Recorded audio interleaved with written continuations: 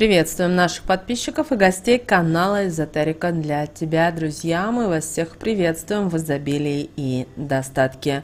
Сегодня в этом видео уделим внимание народным приметам на 5 сентября. Поговорим о том, что обязательно нужно сделать в этот день и на какие моменты стоит обратить внимание, чтобы этот день, согласно народным приметам, прошел для вас успешно и благополучно.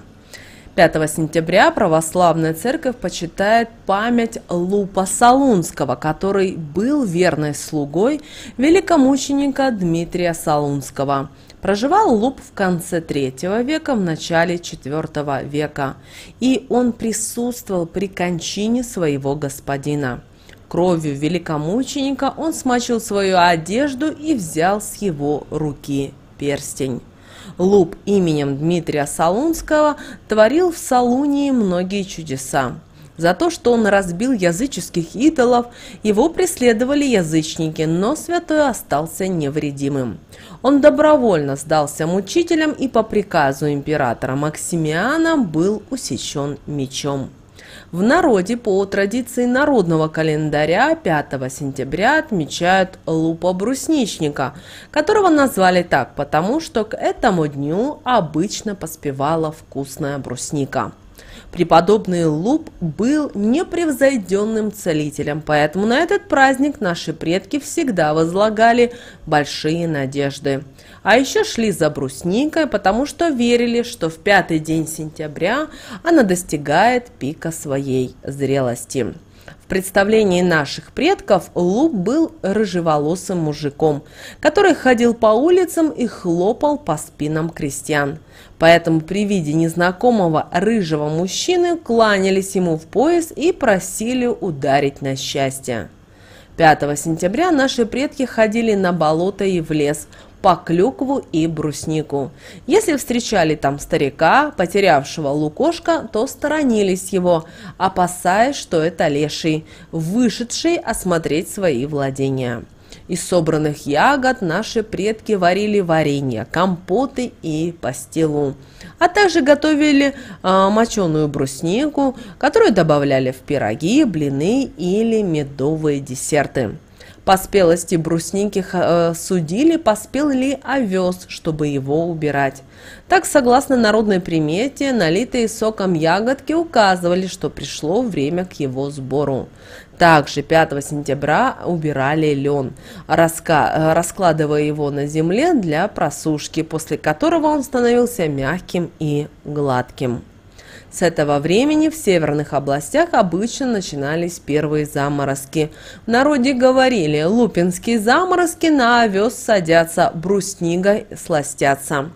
Святого Лупу э, знали, что он ходит по земле в этот день. И, конечно же, в этот день, как мы уже сказали, поспевала брусника. И э, э, женщины, дети шли в лес собирать ягоды, которые многие хозяйки мочили на зиму. И обращаем ваше внимание, что бруснику перебирали, промывали обязательно холодной водой, насыпали в эмалированную или стеклянную посуду, в деревянные бочки и заливали охлажденной кипяченой водой. Вода должна полностью была покрыть ягоды. Сверху укладывали кружок, закрывали чистой льняной материей и клали какой-либо тяжелый предмет. Э, разоливали бруснику рассолом с сиропом. На 1 литр воды нужно взять одну чайную ложечку соли и 100 грамм сахара. Воду необходимо было прокипятить и охладить. В, э, в бруснику можно было добавить нарезанными дольками яблоки, корицу или перец. И хранили э, такую вот моченую бруснику в прохладном месте. Излюбленным напитком наших предков была брусничная вода. Собранные на лупа брусничника ягоды помещали в бочку. Конечно же, знахари в этот день собирали коренья и листья брусники, которые использовали как противовоспалительное и дезинфицирующее средство. Также обращаем ваше внимание, что если вы 5 сентября задумаетесь о, смесь, о смене работы, переход на другое место, то лучше отложите это занятие на другой день, потому что резкие перемены в этот день не сулят ничего хорошего. Также в этот день, 5 сентября, не раскрывайте сегодня никому ни свои, ни чужие секреты. Есть вероятность, что изложенная вами информация станет достоянием общественности. А вот женщинам в этот день запрещалось расчесывать волосы. Наши предки верили, что расческа может забрать жизненные силы. Также для того, чтобы зарядиться энергией и здоровьем перед холодами, крестьяне в этот день варили обязательно целебный ягодный морс. В него добавляли обязательно святую водичку, травы, мед и читали над ним специальную молитву. В этот день наши предки обращались и за помощью к своему ангелу-хранителю. Говорят, что он отгонял плохой сон и успокаивал. Кроме этого, Небесный Спаситель может посоветовать, как убрать из своей жизни все отрицательное. Отметим, что если сегодня вы взяли в руки колющие и режущие предметы, это точно не приведет вас ни к чему хорошему. Если у хозяина нет домашних животных, то следует забыть про то, чтобы выходить из дома далеко в этот день. Не стоит в пятый день сентября пытаться нарушать правила и запреты. В противном случае вы можете столкнуться с, с ужасными последствиями. Что же нельзя делать 5 сентября по народным приметам? Считается, что лупа в день нужно привести в покое и смирении – 5 сентября не стоит жаловаться на жизнь, чтобы не накликать бед, а те, кто в этот день осуждает других людей и пытается выведать чужие тайны, и вовсе ждут всевозможные неприятности. В этот день не следует и приобретать дорогие украшения, так как их покупка может стать причиной долгой болезни. Наши предки также считали, что в день лупы брусничника стоит быть аккуратнее и не наступать в грязь, а иначе с испачкавшимся человеком в этот день может случиться что-нибудь опасное. Не принято было 5 сентября и одалживать ни деньги, ни вещи, потому что это сулило заемщику потерять удачу. Э, в этот день также не подметают и не моют полы, чтобы не навлечь на свою семью тяжелые болезни и бедность. А еще в этот день ни под каким предлогом нельзя было стричь волосы и ногти, иначе таким образом вы можете укоротить себе жизнь и подорвать здоровье. Также в этот день не стоит сплетничать, обсуждать других людей, раскрывать секреты как свои, так и чужие. А вот в этот день, если вам приснился сон, то знайте, что э, каждая деталь вашего сна имеет определенное значение. Если вам приснилось мыло, то знайте, что это к потере или к смене работы. Если вам приснилась горчица, то это к получению плохих новостей. Если вы нашли день, деньги найдете во сне, то это к бедности. А вот если муж, то это к хлопотам. Человек, который родился 5 сентября, обладал неимоверными интуитивными способностями. Это позволяло ему избегать неприятностей и добиваться успеха во многих начинаниях. Ему следует обязательно носить опал.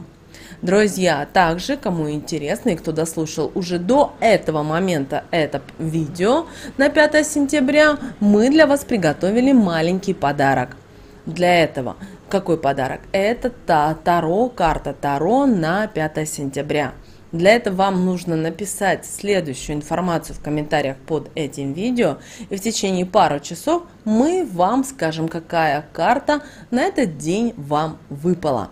Итак, напишите свое имя, Напишите число, месяц и год рождения и напишите «Я привлекаю деньги и достаток 5 сентября». Также вы можете написать те пожелания, материальные блага, которые вы бы прихотели бы привлечь в самое ближайшее а, время. Так что вас ждет такой подарок. Карта Таро на 5 сентября. Поспешите. А знахари 5 сентября во время заката собирали брусничные корни для того, чтобы использовать их как противовоспалительное средство. Также в лупов день читали обязательно и проводили обряды от соперников и соперниц. Проводили отвороты, специальные ритуалы и обряды. Ну и, конечно же, в этот день вы также можете провести ритуал, чтобы соперница жизнь не портила. Вам нужно 5 сентября взять два ножа, которые предварительно следовало затупить. Положить их, хрест, их крестом на любую вещь мужа и прочитать следующие слова. «Господи Боже, помоги от козней, козней соперницы коварной защити, чтобы не могла она мне навредить, со свету сжить, чтобы колдовством своим не вредила, мужа моего от меня не уводила». После этого нужно завернуть ножи в белое полотенце и сказать, как ткань это бела, так и жизнь моя пусть будет чиста, чтобы никто мне не мешал, мою семью не разрушал. И эти ножи, ножи нужно спрятать до прихода супруга, а он должен их наточить после. Полотенце, в которое они были завернуты, дать мужу вытереть руки. Вот, друзья, такой у нас с вами день, 5 сентября. С вами, как всегда, был канал Эзотерика для тебя. Обязательно подписывайтесь на наш канал, обязательно ставьте лайк этому видео. И обязательно поделитесь этим видео с теми, кого вы любите, кого вы цените, кому вы желаете мира, любви и гармонии. А мы с вами, друзья, уже услышимся в следующем видео. Всех вам благ!